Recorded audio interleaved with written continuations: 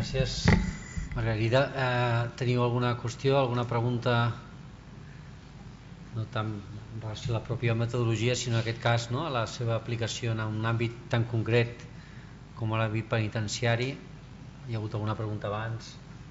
Jo no sé si això teniu referents d'altres països que en aquest àmbit, eh? en l'àmbit dels interns dels serveis penitenciaris s'hagi fet o es practiqui o s'utilitzi. Hi ha, un, hi ha, per exemple, a Alemanya s'utilitza, hi ha algun estudi publicat a Alemanya i després en altres països també s'utilitzen. Mm, estudis publicats jo en sé dos o tres però clar, això ja depèn després de que es faci la publicació de, del treball que es fa no? Mm. en aquest cas ho publicarem de fet ja hi ha una primera publicació quasi a punt de sortir del centre d'estudis mm. però i, i, i sí, a Alemanya per exemple que es treballa molt hi ha estudis fets en aquest sentit hi ha alguna publicació feta quan dic publicacions em refereixo a publicacions en revistes mèdiques d'àmbit internacional eh? amb, amb, amb, normalment són amb, amb, amb idioma anglès i revistes indexades, etc. Després segur que treballs que potser no podem localitzar a través de les biblioteques o d'una recerca clàssica, doncs segur que n'hi ha molts més, però potser ja no hi podem o tenim més dificultats per accedir-hi. No? Que, per exemple, el nostre treball es publicarà a la web del centre, però clar, si ja no vas a webs específiques ja no, no els trobes, no? però sí que, que es treballa, es treballa. Aquesta.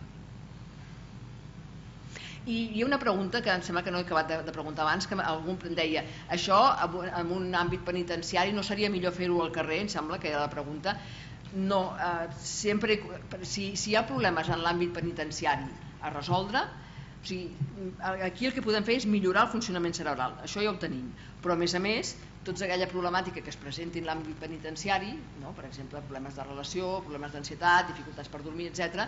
Doncs tot això ja ho podem anar resolent aquí, sempre i quan aquella persona es pugui plantejar aquests problemes.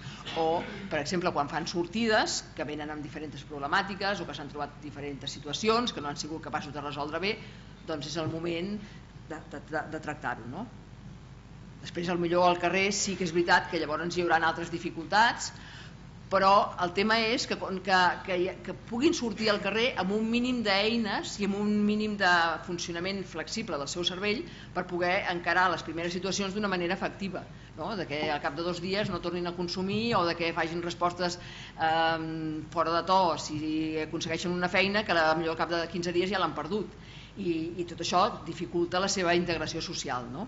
O sigui que puguin fer aquesta inserció social amb el màxim de, de garanties possible. Després, si poden aprendre més o poden millorar més, estupendo. De cara a aquestes persones que, que surten després del... Que deixen un micro. Lligant amb aquesta última eh, qüestió que estava dient, les persones que hem passat per aquesta, tot això del neurofeedback, un cop estiguin a fora, està previst algun seguiment o algun suport, etc. O... De moment no, no està previst. El, un seguiment sí que ens hem plantejat de fer-lo per veure després com evolucionen, eh, però això haurem d'anar veient com ho podem posar en pràctica, perquè a vegades és complicat, no? millor canvien de centre penitenciari, a lo millor quan van a casa seva no tots viuen a Barcelona, són de diferents llocs, Tarragona, un poble, etc i a vegades es fa difícil, no? però sí, sí que la intenció és fer un seguiment, no? un seguiment de la seva evolució, del tractament no, clar, perquè... I aprofito també per preguntar una altra cosa, com que això és una pels estudis que ha fet i tal, eh, que han fet eh, una millora de la capacitat d'atenció que està constatada en altres poblacions, eh, per exemple infants, que abans vostè també ho ha comentat al principi amb totes les problemàtiques de TDAH i tot això, eh, potser seria també un, un sistema sí, sí, sí. Adient, no? Sí, de fet a la clínica s'utilitza, un, un dels àmbits en què s'utilitza molt és pel tractament del trastorn per dèficit d'atenció i hiperactivitat, per millorar l'atenció, per disminuir les, les conductes impulsives que presenten molts d'aquests nens i la hiperactivitat. Aquest és un dels àmbits en què més s'utilitza aquí i que clar, hi ha gent que millor doncs, no, això, no vol que els seus fills vagin medicats i, i prefereixen doncs, que hi hagi un procés d'aprenentatge on també és molt útil és per nens amb trastorn per dèficit d'atenció i hiperactivitat però que presenten símptomes de trastorn de conducta, no? el que, el que s'anomena oposicionista, no? que sempre diuen que no a tot i que s'enfaden molt i això flexibilitza el cervell i moltes vegades hi ha respostes molt bones. I és bo que es faci quan abans millor perquè, el que deia, els mals aprenentatges mantenen per si mateixos, per la repetició, les conductes desadaptatives. I el que és bo és que des de petits aprenguin mm, a fer conductes positives perquè llavors la pròpia conducta positiva manté la conducta per la pròpia repetició. Eh, sí, eh, veient els beneficis que sembla que té aquest, aquest, eh, aquesta tècnica, suposo, o, voldria saber si, i, i aprofitant que tenim aquí el director general, si hi ha una intenció d'ampliar i de posar en pràctica aquesta tècnica eh, en general, no? en tots els, els centres penitenciaris o algun programa o en fi, saber una mica quina perspectiva n'hi ha sobre això. Bueno, això els hauries de preguntar amb ells. Jo, millor que la, això, que la, la pregunta la contestessin ells. Si, si ella ens podrà comentar o si és sí. adequat dir-ho. Eh?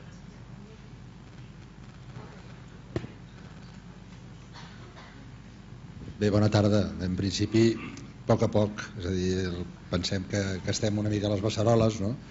és una bona experiència, seguim endavant perquè pensem que, que és un tema i una tècnica de tractament doncs, que pot tenir realment predicament en els centres penitenciaris, però de moment el que pensem és anar consolidant a poc a poc i anar veient l'experiència que es farà que, que s'està fent i a partir d'aquí doncs, eh, evidentment recollir doncs, eh, les aportacions que ens pugui anar fent, ens anar aportant la tècnica i després valorarem si, si realment s'ha de fer algun programa marc, si s'ha d'extendre l'experiència a altres centres, això ho anirem valorant.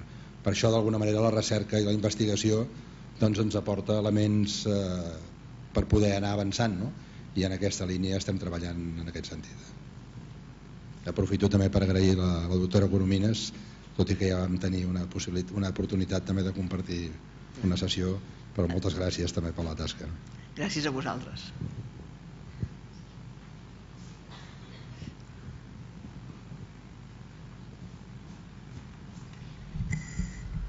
Gràcies. Hola, bona tarda. Tot molt interessant eh, totes les dades de, de l'estudi, però ha hagut una dada que, que m'ha cridat l'atenció i la volia comentar perquè m'ha fet reflexionar. Eh, L'efecte placebo he vist que no només eh, quedaven igual, sinó que milloraven també. O sigui, amb un percentatge, crec que del 14 al 15, no recordo molt bé. I això m'ha fet reflexionar. Eh, o sigui, sense fer res, també millora. Eh, M'agradaria aprofundir una miqueta amb aquest efecte placebo, què és el que es va fer per aconseguir aquesta millora? El que, el que comentava abans, és parlar amb ells. És a dir, l'entorn, o sigui, només la, això en, en psiquiatria està molt ben descrit. Sempre que hi ha, hi ha una atenció, depèn dels símptomes, eh? sempre que hi ha una atenció a la persona que acudeix a, a buscar tractament, sempre la sola atenció i parlar amb aquella persona i de la seva problemàtica, naturalment, com que la deixa més tranquil·la, amb això sol moltes vegades milloren, si no tots, alguns dels símptomes. I això és el que eh, està reflectint el, el resultat del grup col·laborador. Aquest efecte placebo que es veu en molts tractaments, mm, en el cas de la depressió, per exemple, és un cas emblemàtic, l'ansietat també, perquè canvia bastant eh, sobretot la, la, quan se li pregunta per l'ansietat in situ, no ara com et sents. No? Una altra cosa és, en general, quan ja no estàs aquí amb mi, com estàs? No? Mm, està reflectint aquesta millora i després el, el, això, el que vaig dir, clar, eh, quan venien allà els hi feies una atenció, havies de parlar amb ells, de vegades feien alguna pregunta, li donaves algun consell, tot això doncs, anava millorant una miqueta el seu dia a dia. No? Però una cosa és que millori una miqueta el seu estat i l'altra és que hi hagin canvis cerebrals que després, que és el que es busca, que hi hagin canvis que possibilitin no, que les respostes impulsives, per exemple, doncs, eh, millorin en tots els àmbits. No? O sigui, portar aquella persona en un, en un estat diferent que li permeti actuar de manera més flexible i menys impulsiva, menys agressiva, perquè està de manera diferent. Que en el cas del, del grup col·laborador sí que el millor es pot sentir en determinats moments, ah, doncs mira, sí, he actuat més bé, perquè m'han donat una pauta, no sé què, perquè estic més tranquil, però no hi ha hagut un canvi. Això és el que es busca amb neurofib, aquest canvi que després possibilita mm, estar en un estat molt millor i, i, i que sigui més capaç de, de, de, de funcionar d'una manera més eficaç. Hola, buenas tardes. Eh, mi duda es, si se ha hablado de un neurofeedback súper positivo, de una manera positiva en todos los aspectos, pero me gustaría saber si se puede utilizar desde un punto negativo. Si la persona utiliza de mala fe y, por ejemplo, una persona que, no tiene, que tiene una baja agresividad, después del tratamiento puede desarrollar una conducta agresiva. Nunca. Nunca. No, no, no perquè, primer, primer perquè l'equip està, pre- està preparat per millorar el, la regulació cerebral. O sigui, el que ja capta de manera espontània són moments de disregulació. Moments de disregulació pensats mm, per la tasca que la persona està fent en aquell moment, no? que són aquelles imatges i aquell so. Es preveu que l'activitat cerebral sigui una determinada, que ja està pro- preprogramada, i el que surt d'aquells límits doncs és el que es modula. Ara, eh, diries, bueno, però ho podem fer servir eh, malament. Sí, o sigui, no. No per què? Perquè clar, el que es busca, i menys amb aquest, eh, amb aquest tipus de, de treball, es basa en els símptomes. Fas un recull de símptomes. I el que es busca en la pròpia sessió i de, de sessió en sessió és que els símptomes millorin. Clar, si la persona ve un dia i diu no, jo és que m'he passat la nit sense dormir, clar, l'endemà ja no torna. O, o mateixos interns, t'ho dirien, no? Ha de ser que la, la persona es vagi trobant més bé, vagi- vagin resolent els símptomes d'ansietat, els símptomes de depressió, mm, els seus pensaments distorsionats, el que, porti a la consulta, vagi millorant, que és el que ens interessa, i es va estirant el, fil, per això deia, el, estirar el fil és en base als símptomes. I es fa la valoració cada dia. I mm, ha de millorar, sigui, si no millora, doncs, bueno, ha- s'ha de canviar, esclar, llavors bueno, vaig ajustar-te els paràmetres, la freqüència de treball, vaig ajustar, eh, fem una altra valoració, millor no se'ns ha escapat algun aspecte, canviem la posició dels sensors, hem de fer els canvis eh, adequats per a aquella persona perquè la seva sintomatologia millori. I les símptomes estan reflectint mal funcionament cerebral, perquè quan el, el cervell funciona bé, la persona està bé i bueno, és capaç de funcionar bé. Igual que el, el, qualsevol òrgan del nostre mm, cos, doncs, quan està bé, funciona bé per definició, no? el cor batega i pulsa la sang, l'estómac eh, mm, digereix els aliments sense que li fem res especial perquè ja està preparat per això. El cervell està preparat per donar resposta a, les nostres actuacions a l'entorn. Si funciona bé, mm, no hi haurà símptomes, se sentirà bé aquella persona i, i, i serà capaç de, de, de, de donar respostes cognitives òptimes, que és el que s'espera del nostre cervell. No, no, no es pot anar enrere, perquè la persona se sentiria malament.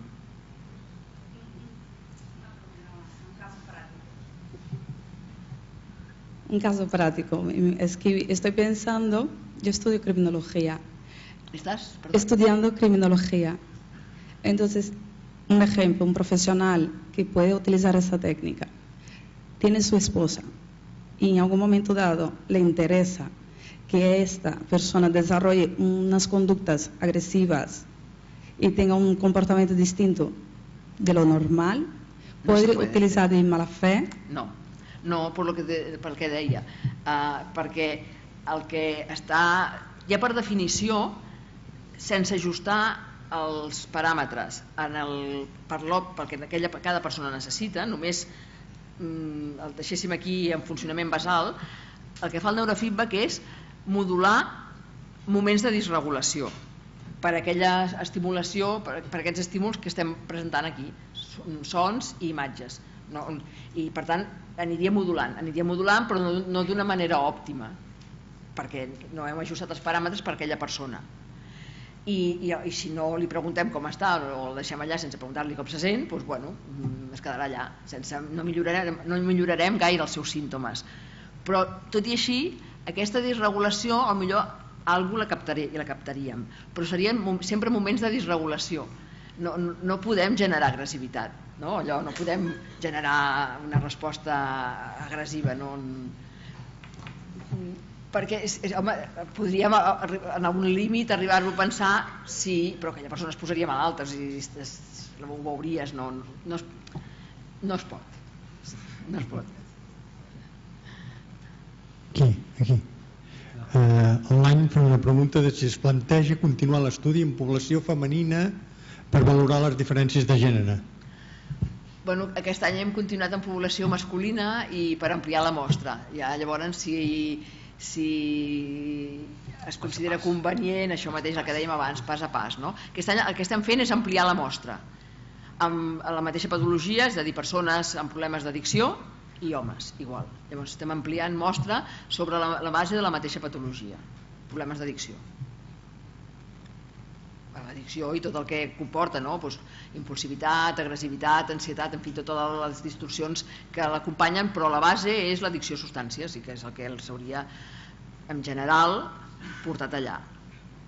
O si no, com a mínim, que associat al seu, a la seva problemàtica doncs hi ha eh, un problema d'addicció. Jo voldria preguntar si això s'aplicarà a la pedofília i als violadors. Perdona? Si això s'aplicarà als violadors i als... No va, sí. Si això s'aplicarà als violadors i als pedòfils que hi ha a les presons. Mm, bueno, eh, la veritat és que en aquest camp no hi ha, no hi ha experiència de... No, no, jo no, no tinc cap constància de que hi hagi pub- publicacions en aquest sentit perquè es tracta de, de, bueno, de, de, de conductes d'un altre estil. Mm, es podria, eh, probablement es podria pensar segons quina sigui la problemàtica de, de base de, de cada una de les persones. Per exemple, si hi hagués un problema d'addicció, que la sintomatologia fos la mateixa que d'una persona addicta, no? Imaginem-nos que és, podria simular l'addicció a un joc, no? l'addicció a altre tipus de conductes. Bueno, potser aquí sí perquè hi hauria l'addicció a la base. Mm, En altres casos ja no t'ho sabria dir. Però jo crec que hi ha molta feina a fer abans d'arribar eh, en aquests casos, per exemple, eh, problemàtica de trastorn límit, de la, trastorns de la personalitat en general, trastorn límit també, hi ha aspectes que es poden mirar de millorar, no? I aquí sí que hi ha, hi ha literatura de- descrita.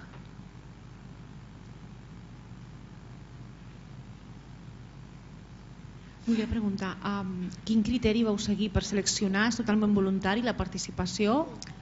Sí. O realment la predisposició i creure en el que practicàveu és necessari perquè els resultats siguin efectius? Sí, la, el, el, són voluntaris, eh? la, la persona que participa voluntàriament. És a dir, diu, sí, sí, jo vull participar en un programa de millora i bé, hi participa. O sigui, eh, bueno, la, això ja no ho vaig fer jo mateixa, això jo, els, els psicòlegs i educadors de cada centre ja, tant l'any passat com aquest, ja han fet la selecció, jo l'única cosa que he fet és doncs, això, distribuir grup programa, grup col·laborador, de manera que estiguin balancejats les característiques, però aquests ja estaven seleccionats i són voluntaris, eh? el que vol, com el que vol anar a una consulta i millorar el seu estat. No? Clar, si vens aquí i tu eh, tu prens així, no prestes atenció i quan marxes doncs comences a fer el contrari del que t'han com aconsellat, doncs tampoc serveix, no? Clar.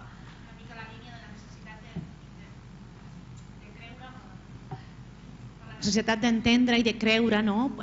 No. Similar a l'efecte placebo, no? Saber el que estàs fent potser t'ajuda. No, no, no, l'única cosa que, que ha de ser és que tu vulguis millorar que tu sí que vulguis millorar la teva conducta. I dius, bueno, vaig a fer aquest tractament. La voluntat de fer-ho, però no cal que hi creguis no, no.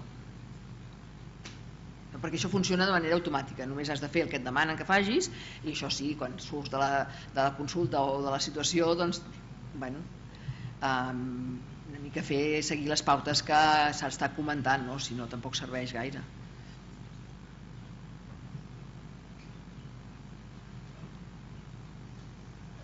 Hola, bona tarda. Bona tarda. Farà una mica de l'àmbit eh, penitenciari i centrant una mica més en l'àmbit de la praxi clínica. Mm, a part de les sessions que es fan en consulta, eh, jo he sentit a dir també, per exemple, que hi ha pacients que se'ls facilita o no sé si es compra els equips, el tenen a casa, segueixen les pautes i ho fan ells també, a banda del que puguin fer consulta, ho fan a casa seva. És cert això? Mm, abans s'havia fet eh, en algun país, aquí no, perquè no, aquí és, eh, la utilització és nova, però si es fa es fa sempre amb, amb una amb guia clínica al darrere, eh? és com aquell que va al psicòleg i s'emporta unes pautes a casa i l'any de cap de tres dies torna i diu bueno, com li ha anat això, anem a revisar o sigui, perquè clar, ja has d'anar ajustant paràmetres que moltes vegades s'han d'anar ajustant al llarg del temps perquè es va canviant el funcionament cerebral i has de fer ajustaments i a més a més has de situar els sensors en funció de, dels símptomes que se't van presentant clar, en principi la, la, no cal emportar-t'ho a casa perquè són tractaments que comencen i acaben.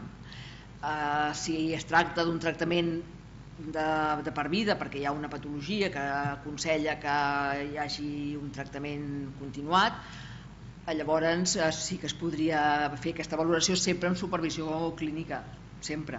Clar, llavors si dius, bueno, ara aquesta persona ja necessita unes pautes que sempre són les mateixes, i ho pot situar ella mateixa de manera bueno, sistemàtica doncs, bueno, es podria fer amb supervisió, això sí.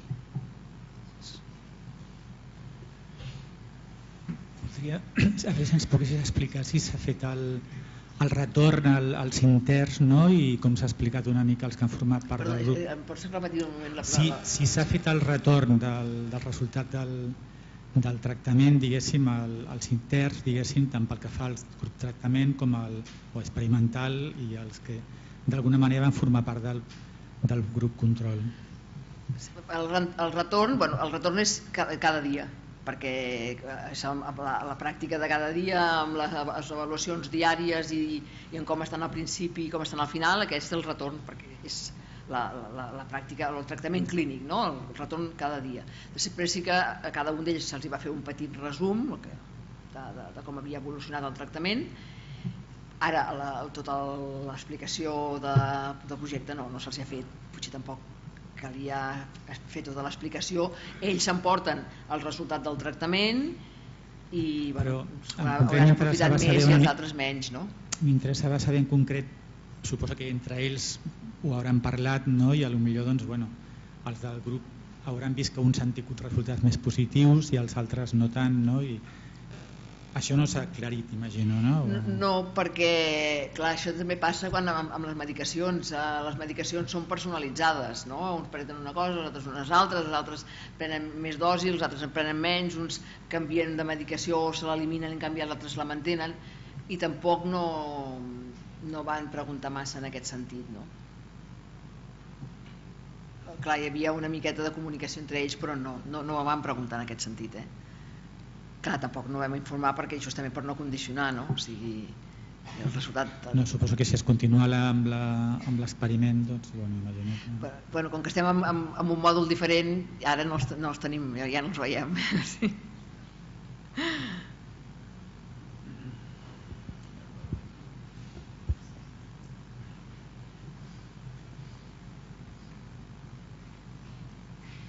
Sí, volia preguntar perquè al principi de tot has mencionat que eh, s'havia començat, s'havia iniciat aquest, eh, aquest tractament per, per tractar l'epilèpsia, que havia sigut al, al principi. No?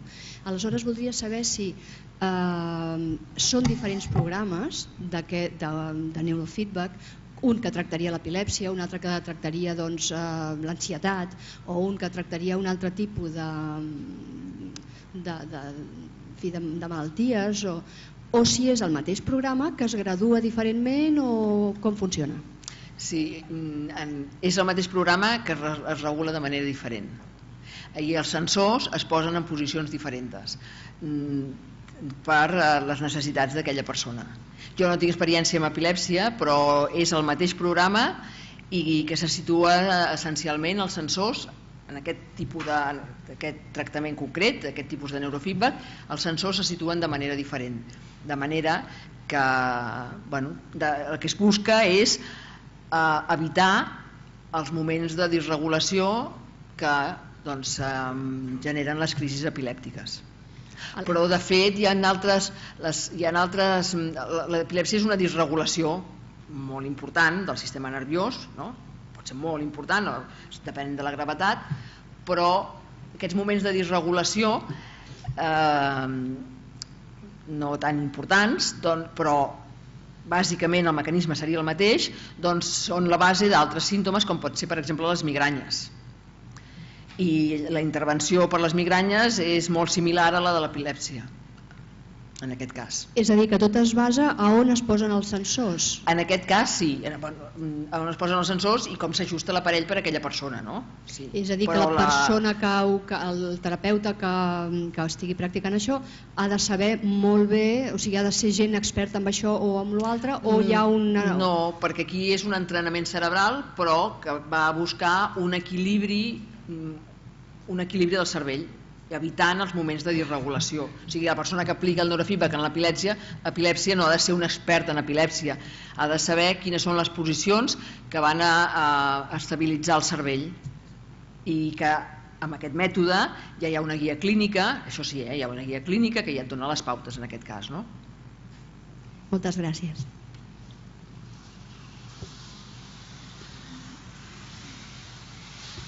Sí, hola. Jo voldria preguntar, eh, em sembla que s'ha fet referència al, respecte al seguiment de l'estudi que ha portat a terme i jo penso que només volia fer èmfasis amb la importància que considero que s'ha de fer d'aquest seguiment per la població amb la que estem treballant que tenim una gran part de la població amb problemes de, bueno, de desorganització personal, de manca de límits, problemes de, perdona? de desorganització, molt desorganitzats, amb trastorns límits de personalitat, etc, que sabem que amb espais molt contenidors, molt estructurats, s'acostumen doncs, a funcionar bé, però que fora d'aquests espais doncs, moltes vegades es produeixen les requegudes, com per exemple en el cas de les comunitats terapèutiques, que hi ha poques baixes, eh, funcionen bé, però quan són, se li dona l'alta, doncs, després a llarg termini o a mig termini doncs, es donen requegudes. Penso que, penso que precisament perquè aquesta feina que ha fet, que el cost la ràtio cost-usuari eh, que es beneficia és molt alt, per moltes hores de, de tractament per cada, per cada un dels penats, penso que és fonamental el seguiment a, a mig i llarg termini per justificar aquesta inversió de temps precisament. No? Sí. Suposo que està contemplat hi ha una periodicitat d'avaluacions periòdiques o sigui. Gràcies. Sí, per això justament estàvem comentant que estem fent estudis pilot que anirem a poc a poc perquè el que es vol valorar no és només eh, els resultats d'uns tests clínics sinó també com després aquella persona és capaç de funcionar al carrer no? com, és, com és capaç de mantenir-se? Per això comencem amb unes poblacions concretes que són les poblacions addictes. Evitem trastorns importants de personalitat els trastorns límit no, no, no incluïm almenys un trastorn límit eh, clínicament i també altres trastorns greus de personalitat justament per evitar això que hi hagi altres paràmetres que puguin distorsionar l'evolució no? ens centrem ara en el tema doncs, addiccions, conductes agressives, impulsives però dintre d'aquest àmbit però sí, clar, és important no? que... Molt bé, alguna qüestió més? Sí, una última pregunta, sí. disculpa que torni. Ja sé que no és dintre de l'àmbit penitenciari exclusivament, però voldria saber si eh, aquesta tècnica també pot servir per eh, la bipolaritat. No, eh, no. El que, les persones amb trastorn bipolar poden fer neurofibra perquè sempre hi ha una millora una millora, com qualsevol pot millorar el seu rendiment, però la persona amb trastorn bipolar necessita medicament potser podrà millorar perquè si s'estabilitza més el cervell doncs hi haurà alguns aspectes que poden millorar però les crisis i els altibaixos doncs, eh, l'ha de tractar amb medicació. Gràcies.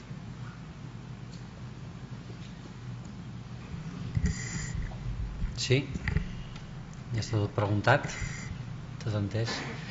Doncs bé, moltes, moltes gràcies per l'economia, moltes gràcies a vosaltres per l'assistència moltes gràcies Manel també per, eh, per provar ara comprovarem si realment no, hi ha millora no.